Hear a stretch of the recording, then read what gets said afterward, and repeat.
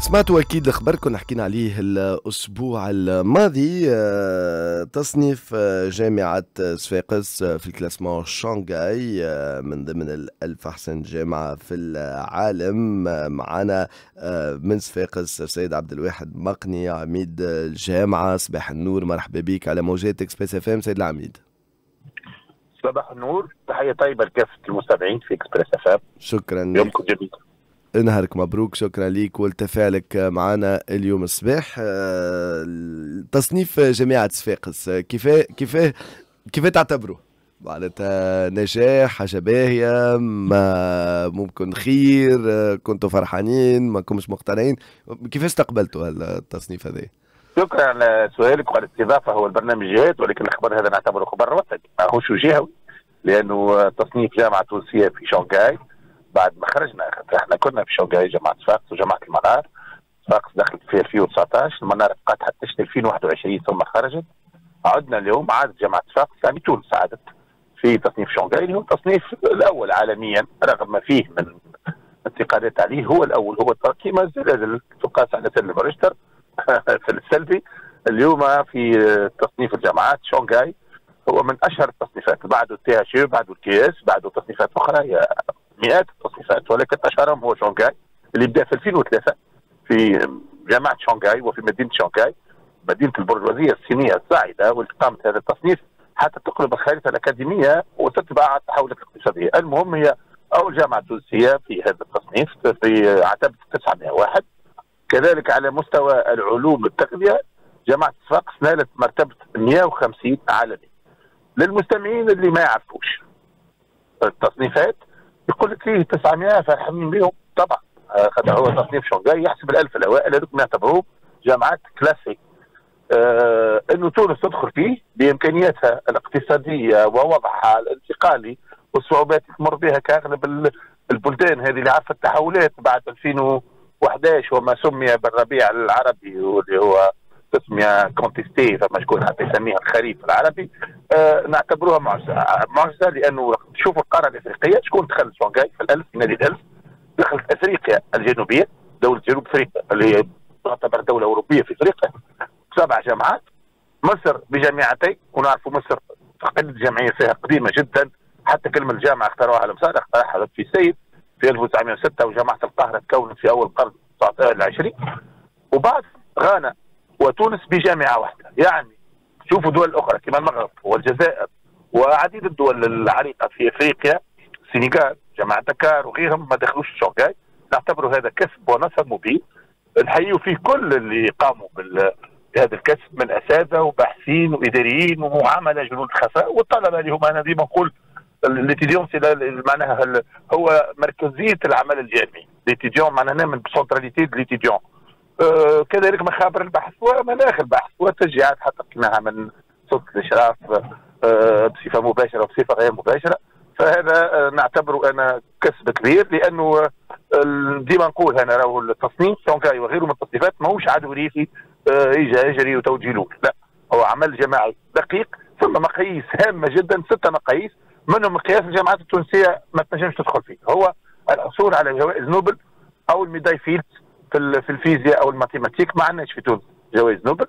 donc تعتمدوا فقط على باقي الخمسة مقاييس اللي هي أشهرها وأولها النشر ونشر المقالات بالإنجليزية في مجلات ذات قيمة علمية ومردودية علمية كبرى يسموهم revues impactées كما Nature و Science وغيره هذا مقياس آه، من المقاييس مقاييس شانغاي donc معناها الحمد لله آه، الدخول هذا طبعا يجب المحافظة عليه. وباقي الجامعات أيضا نحن عندنا مصير مشترك وقت صفاقس تتألق أو المنار أو قرطاج أو جابس أو منوبة أو سوسة أو منستير 15 جامعه فهو خبر يفرحنا جميعا وعندنا نفس المصير وإن شاء الله دائما إلى الأمام التعليم العالي ومنظومة التعليم العمومي. إن شاء الله.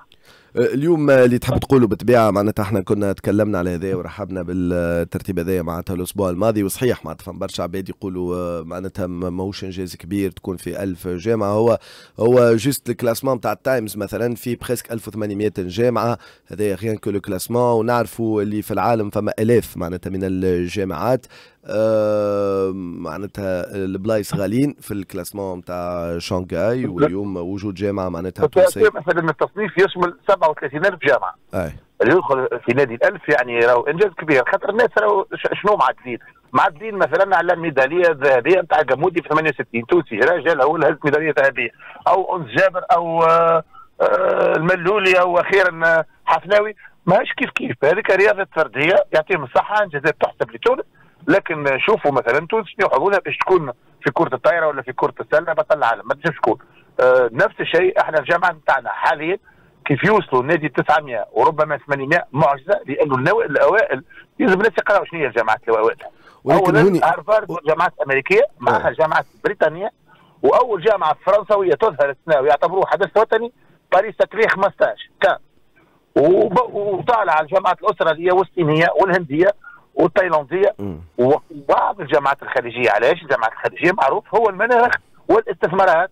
وضخ المناخ الأموال وإقامة جامعات في قرى منفصلة في مدن منفصلة.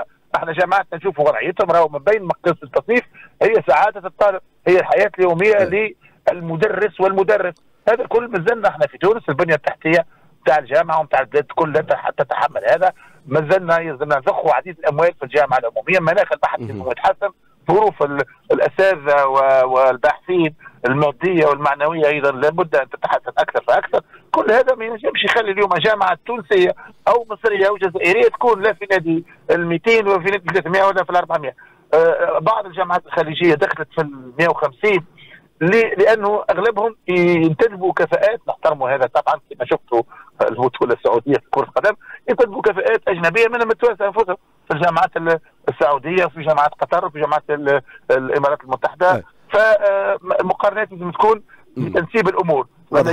سي عبد الواحد مكني نذكر مستمعينا عميد جامعه صفاقس فقط نختم. معاك خد قعدوا لنا دقيقتين أنت دخلت لمحلة في الإجابة نوعا ما على السؤال اللي كنت نختم به اللي هو شنو لازم نعملوا باش نحسنوا donc تكلمت بنية تحتية تكلمت الظروف معناتها العمل بالنسبة للساده إلى آخره. اليوم فما موضوع البحث العلمي زاد. كيفاش تحويل هذاك البحث العلمي كيفاش الجامعة تكون أقرب للنسيج الاقتصادي في بلادها تكون مندمجة فيه وتكون فما علاقة بين المؤسسة والجامعة اليوم البحث العلمي باش يتحول مشاريع des start-up يعطي معناتها قيمة مضافة يزيد في القيمة في المؤسسات في الشركات آه، وفي المجتمع معناتها ككل. كيفاش الربط هذاك يصير بين الجامعة والمؤسسة؟ سامحني قعدتنا دقيقة ونص. أه سؤالك ممتاز. برافو عليك. انت زدت vous tendez la perche سهلت عليه الامر الجامعة إذا كان مش تكون منبتة وفقط تعطي الدروس والنظريات فهي آئلة إلى الذوبان. الجامعة يجب أن تكون قاطرة للنمو الاقتصادي لخلق الذكاء خلق الثروة.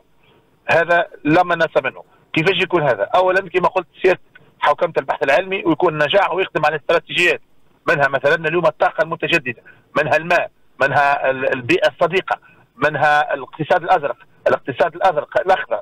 هذا الكل لازم الجامعة تحطه نصب عينيها دون طبعا إهمال العقيدة والإنسانيات وغيرهم من من من, من منظومة القيم لل système de valeurs لازم يكون موجودين باش يكون البحث العلمي دائما في اتجاه إيجابي أمام الإنسانية ويخدم الوطن ويخدم الأمة. النقطة الأخرى هي المحيط الاقتصادي والاجتماعي، إذا كان الجامعة ما تكونش مندمجة فيه وعندها علاقة بالصناعيين وبالمستثمرين وتشجع الباحثين الشبان للستارت أب وترسل جوائز للمتألقين واللي يجيبوا اختراعات تنفع البشر وتخلق التنمية وتخلق الثروة فهي أيضا جامعة عقيمة فسيادتك عودتني على الإجابة. اليوم إحنا يزلنا جامعة ذكية جامعة مندمجه أنا اجتماعيا. داير جامعة السقف لوجو جديد نتاعها فيه. l'engagement social l'engagement sociétal و l'engagement في ال environnement مع البيئة. يلزم الجامعة تكون صديقة البيئة وتكون جامعة مواطنية وجامعة مجتمعية. وإلا فإنه دورها يكون في تراجع. وإحنا دائما نشدد ان الجامعة العمومية هي آه، معناها آه، نبراس لنا والكلنا تربينا عليها ورضعنا حليبها ولذلك لها دين علينا التعليم العمومي بصفة عامة هو حليب الجمهورية وهذاك علاش أنا باسمي كرئيس جامعه صفاقس عبد المكني دائما أنتصر إلى التعليم العمومي والجامعة العمومية ونقول لنا في وطننا ما نعمل وإن شاء الله نزرعه باش نحصد يعطيك الصحة شكرا ليك تحية ليك ولكل العاملين في في الجامعة جامعة صفاقس وفي التعليم العالي آه، في بلادنا بصفة عامة بالتوفيق للناس الكل وبالتوفيق بالعودة الجامعية. شكرا ليك عبد الواحد مقني العميد جامعة صفاقس آه، مبروك مرة أخرى. التصنيف في شانغاي كلاسمون شانغاي فاصل موعد أخبار السبعة ونص وراجعين مع أستاذ الاقتصاد سيريدا قويعه